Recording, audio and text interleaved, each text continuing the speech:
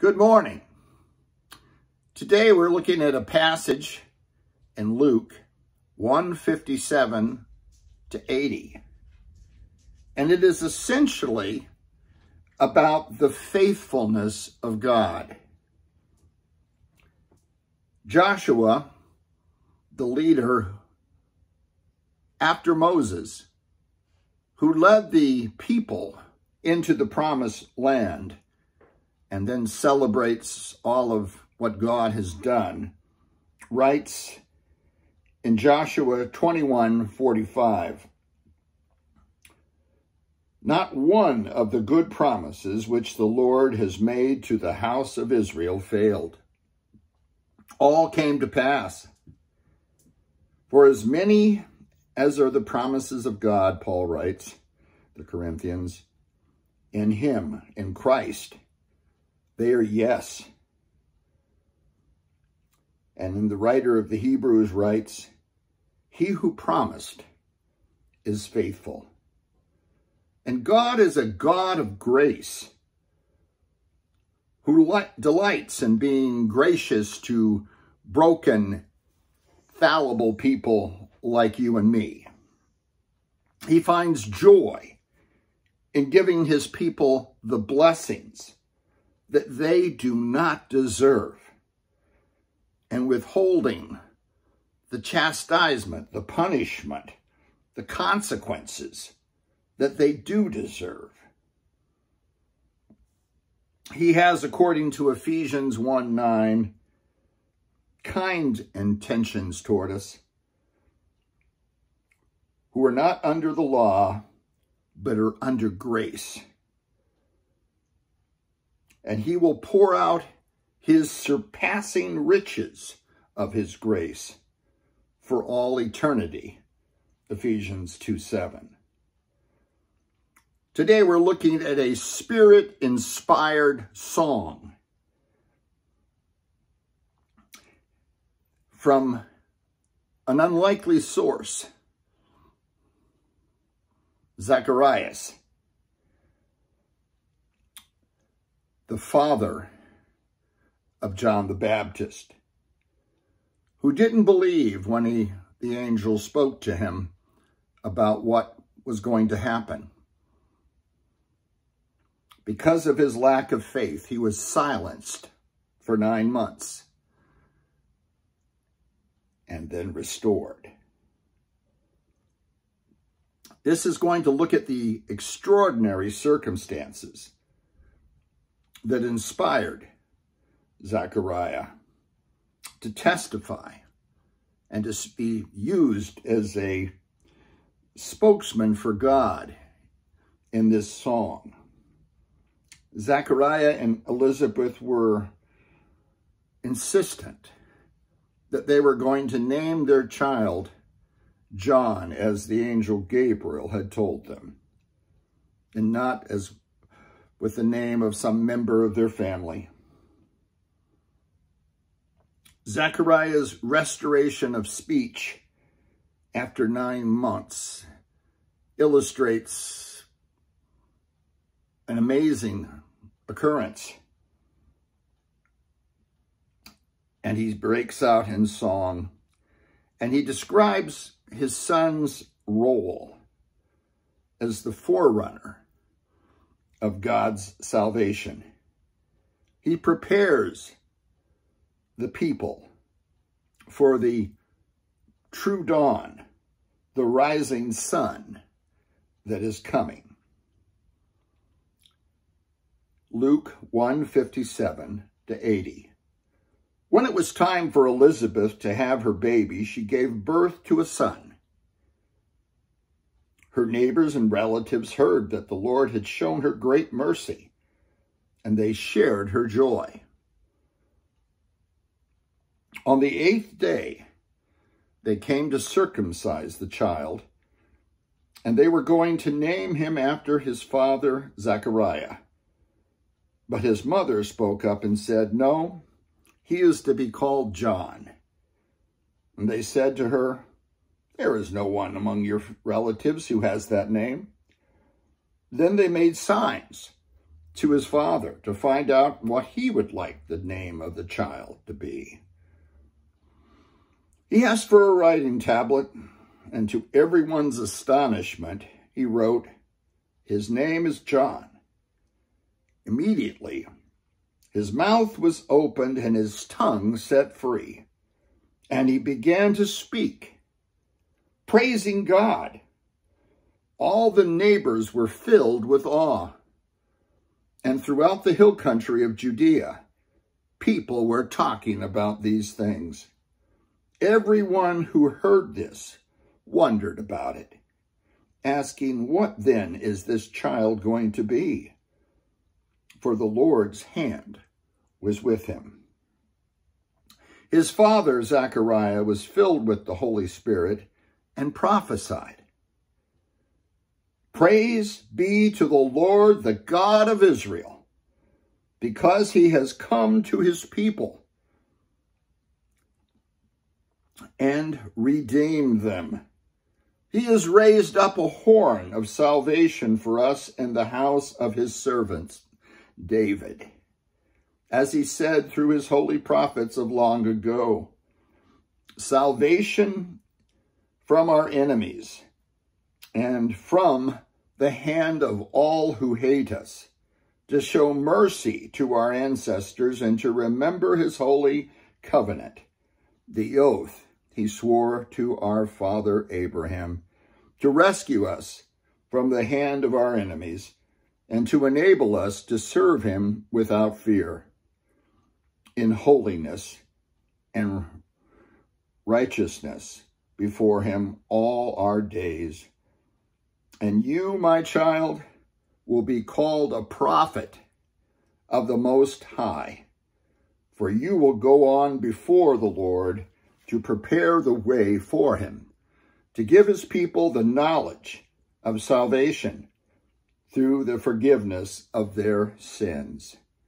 Because the tender mercy of our God, by which the rising sun will come to us from heaven, to shine on those living in darkness and in the shadow of death, to guide our feet into the path of peace.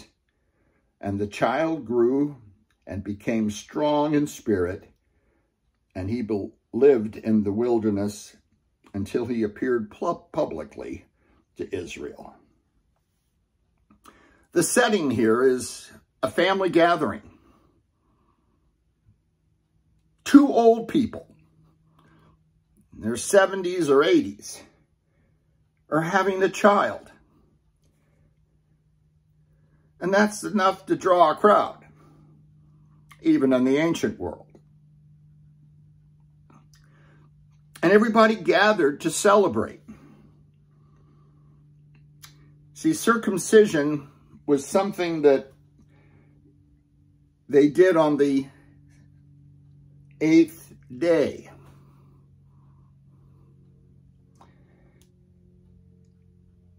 They did this for males. This goes back to Genesis.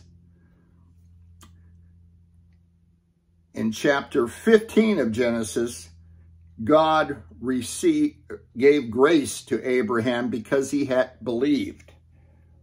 And then he was circumcised as a sign of that internal work in his heart This was instituted by God. There are health benefits to this,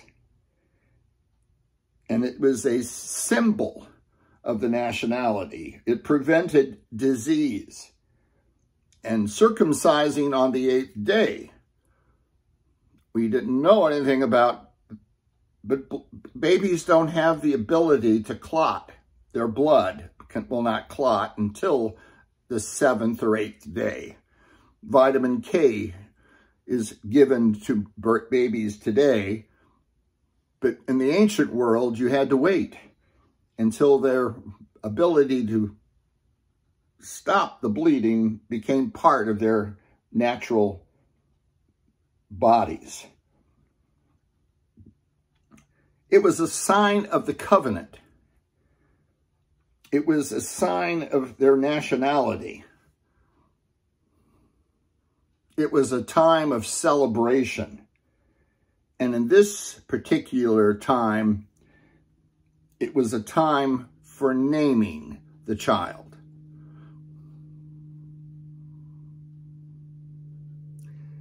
Someone else here is doing the circumcision. Typically, it would be the father. But if you have a, if you're old and you have a shaky hand, you don't want to do something like that. So they have somebody else coming to do it. Maybe it's a rabbi, uh, a, community leader. Moses' son was circumcised by Zipporah. And uh, naming of a child was significant in the ancient world. It's often very significant in the modern world, but it's not so evident in the name itself. It's something about the name that makes it interesting. But in the ancient world, say, for example, Jacob and Esau. Esau means hairy. This little kid was born and he was hairy. So that's what they named him. He was Prince Harry. And Jacob was named because he was the one who grabbed the heel of Harry as he was coming out, these twins. See, in the ancient world, it meant something. Like Elijah means Yahweh is God. Saul and Samuel mean asked for. But in this case, John, Johanna, Yohanan is the Hebrew word, the Hebrew name. God is and has been gracious. And that's what the angel told Zechariah as he was in the Holy of Holies that they was going to name the child. The language of this prophecy, of this song, this expression of faith through the Holy Spirit has echoes of the Magnificat. It has echoes of songs throughout the Old Testament. It starts off with, he is called John. And they made signs. And it suggests that not only was Zacharias, Zechariah had become mute, dumb, unable to speak, but he was also unable to hear.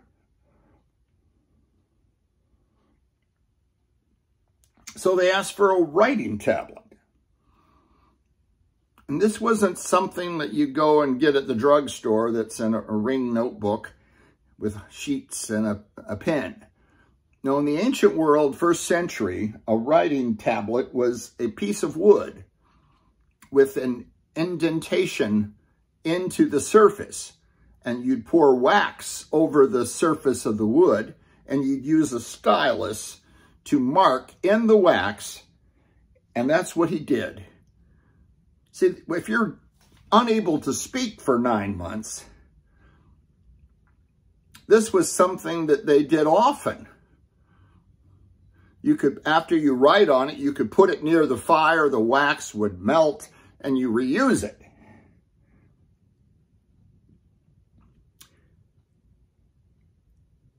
He was unable to speak for nine months. And all of a sudden, he begins to speak.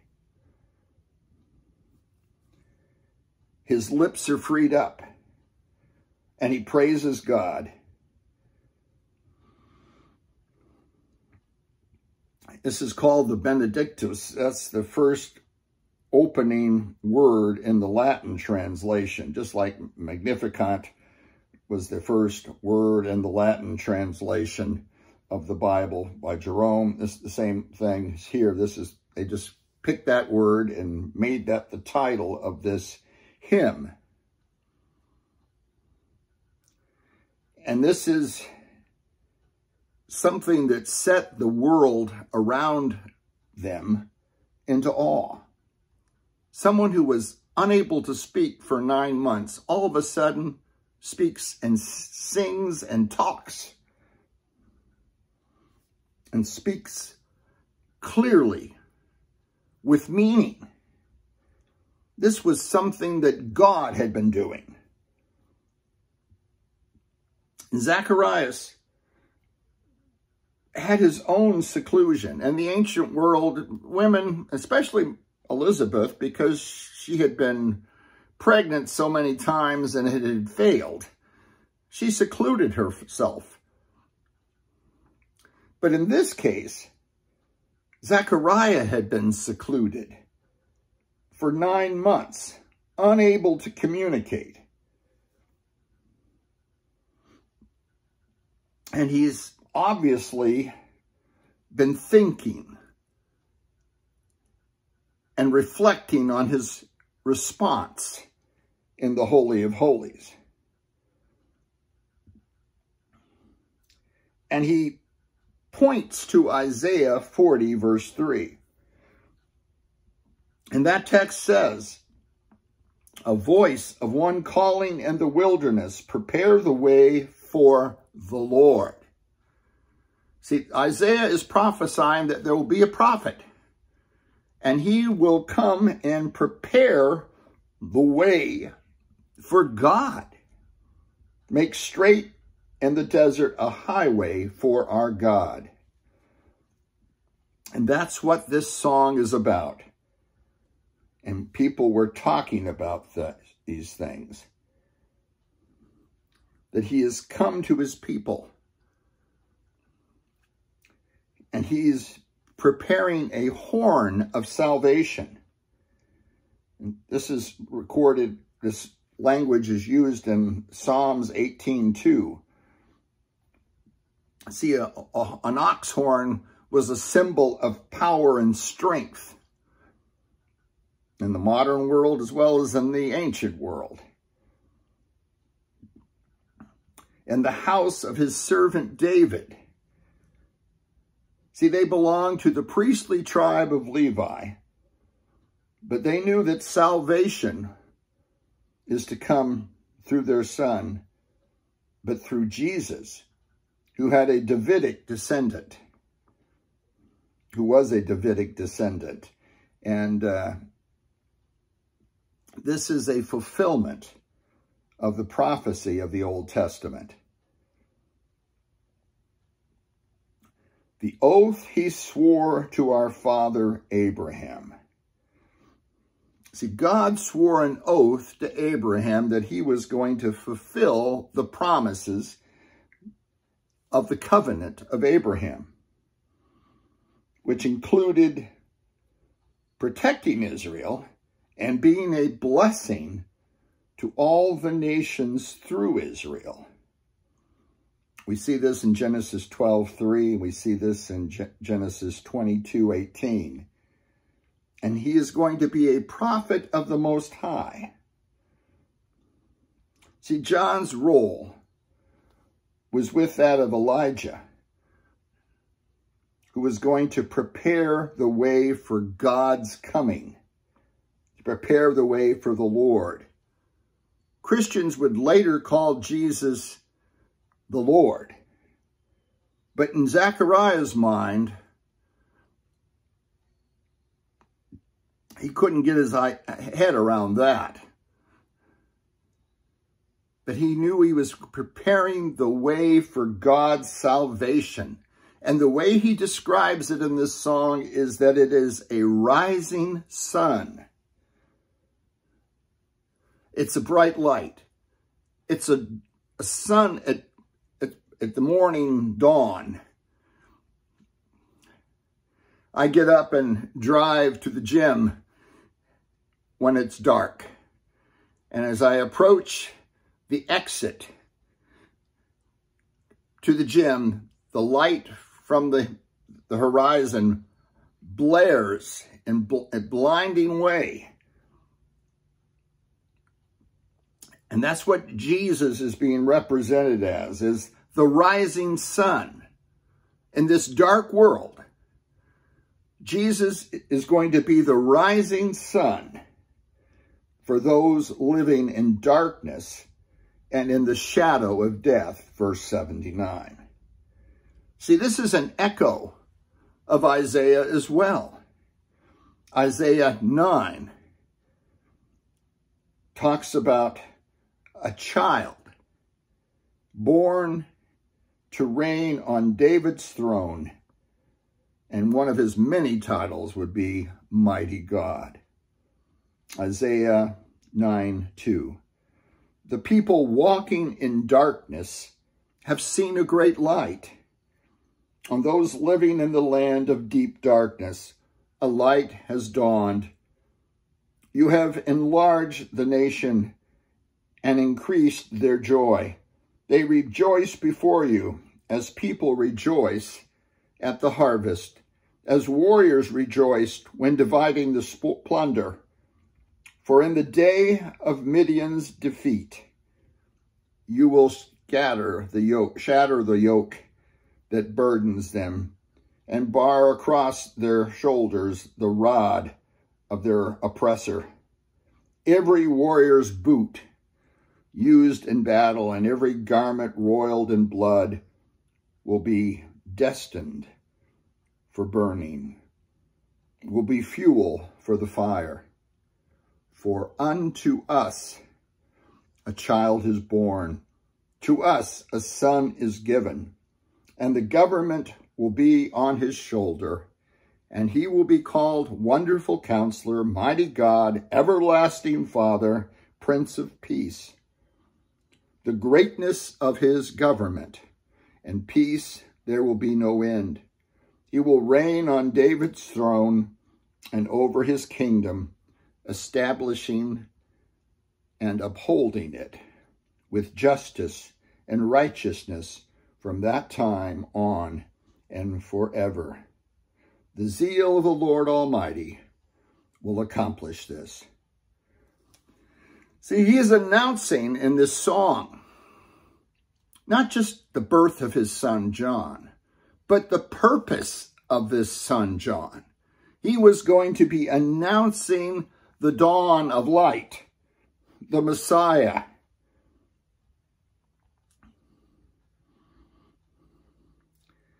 And he is fulfilling his promises to Israel. I will bless those who bless you, and whoever curses you, I will curse and all peoples on earth will be blessed through you. Genesis 12, 1 through 3. See, this idea of covenant fulfillment is essential in the Old Testament, and it's fulfilled in Christ.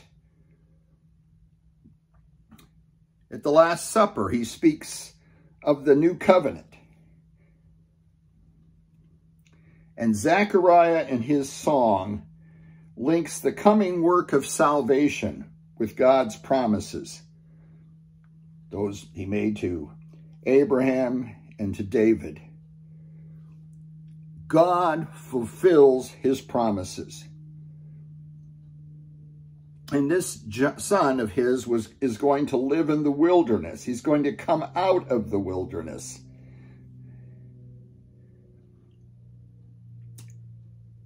And in Israeli history, the wilderness was significant.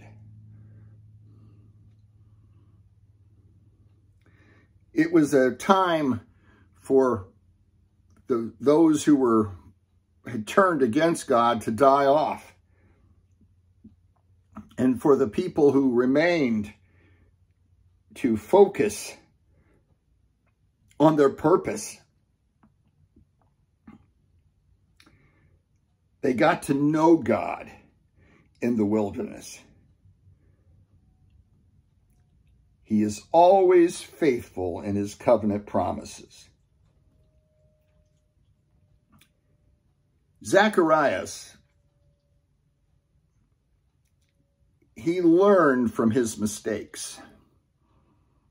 He did not have faith. We saw that in earlier on in the Gospel of Luke. That's why he lost his speech. But through the pain of that reflection and discipline, he emerges a stronger man of God.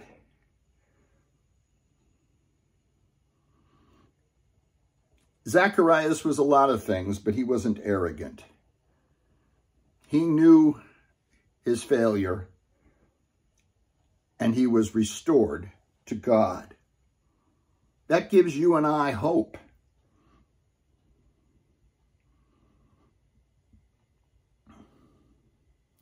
He's acting on behalf of his people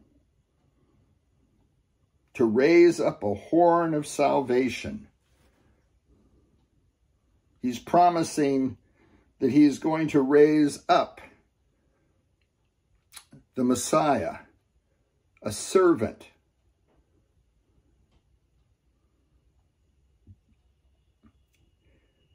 He indicates that his own son will be a prophet of the Most High, preparing the people,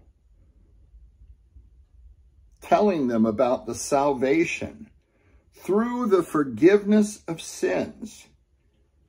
And he will go before the Lord. He will go before the Messiah. God's mercy is at work. He will send the rising sun, verse 79, the morning star. This alludes to Numbers 24, 17 and Isaiah 11, 1 through 10. This is a concept in the Old Testament. We can see it in Psalms 27. The Lord is my light and my salvation. Whom shall I fear? The Lord is the stronghold of my life. Of whom shall I be afraid? We see this in John. John tells the story of the incarnation at the beginning in chapter 1. And he speaks of light and darkness, just as this Benedictus this song of Zechariah. In him was life, and that life was the light of all mankind. The light shines in the darkness, and the darkness has not overcome it. There was a man sent from God whose name was John. He came as a witness to testify concerning that light, so that through him all might believe. He himself was not the light. He came only as a witness to the light. The true light that gives light to everyone was coming into the world. And that's the significance of this song.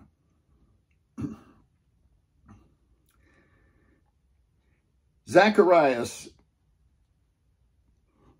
was not a sinless man.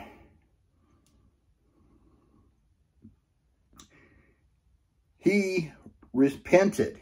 He changed his mind. He grew. And we learned from Zechariah that even good men and women can get better and learn to walk God in a, with God in a deeper way as we trust God through our ups and downs in life. It's how we respond to our failures. Zacharias didn't give up. He didn't become angry at God. He repented. He continued to love God.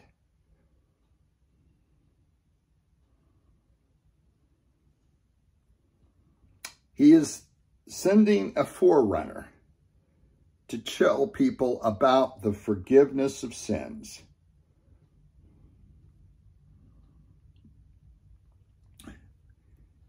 God is faithful and he forgave Zacharias. God is faithful and will forgive and work in us no matter how we stumble and fall. God always fulfills all of his promises to his people and to the world through the birth of this child, who is the light of the world. This, these were some of the verses of the song. To give his people the knowledge of the salvation through the forgiveness of their sins. Because of the tender mercy of our God, by which the rising sun will come to us from heaven, to shine on those living in darkness and in the shadow of death, to guide our feet into the path of peace. Light is all God gives us. He doesn't coerce us to follow him. People naturally move to light. Flies move to light. People respond willingly to light. See, God doesn't coerce people to follow him. He draws them by the light of his love, by the hope of his Messiah. That is the Christmas message. Let us pray. Heavenly Father, we thank you for sending light into this dark world. Lord, we pray that those who are in darkness would see the light and be drawn to it. And Lord, for those of us who stumble and fail, help us to know, as with Zechariah, that there is always hope. There is always forgiveness. God's love is faithful and generous. We thank you, Lord, for your blessings. May we walk in your light. In Christ's name we pray. Amen.